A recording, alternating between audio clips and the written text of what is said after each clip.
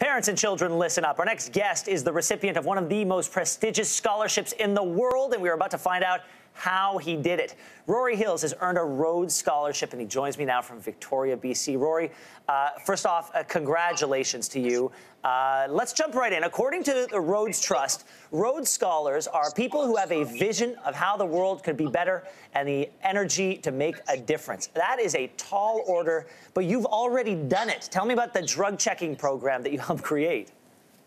So I was uh, I was really fortunate to get to be part of it. I came to adulthood um, seeing statistics that were just tragic about the impact that the overdose crisis had on my province, and getting to hear individual stories from people that, that broke my heart.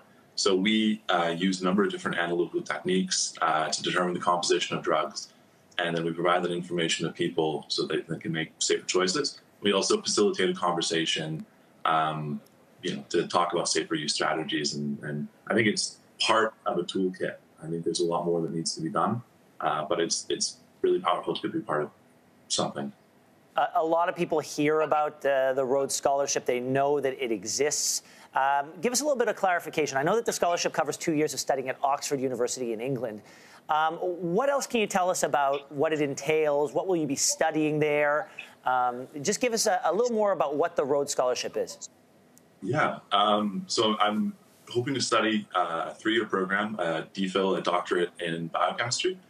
Um, and it basically provides, like you said, financial support, kind of allows me to, to attend a program that otherwise I think might have been out of reach, uh, but also a really incredible support network of, of people that are, like-minded and, like you said, kind of have a, a vision that they want to uh, bring to bring to the fold. Yeah. Uh, well, after Oxford, do you have a plan? Do you see uh, what's in your future for yourself? I think, in broad terms, yes. Uh, I want to continue doing research that I feel will help people. Um, I think that that might take place in an academic setting or maybe an in- industry one. But as long as I'm doing things that are, you know, questions that are difficult but have meaningful answers, I'll be happy. Uh, Rory, any advice for the kids that are watching at home who are saying to themselves, I want to do what that guy did. I want to be a Rhodes Scholar? I'm, I'm almost a little hesitant because I feel like there's maybe 100 things I did and 10 of them were probably completely wrong, but were made up for by the other 90.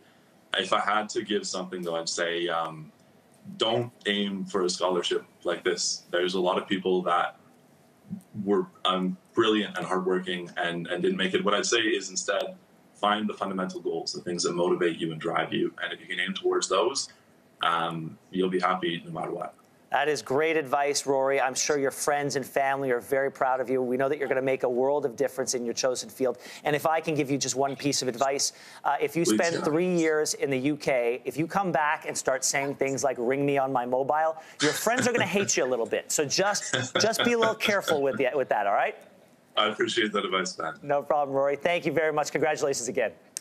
Thank you.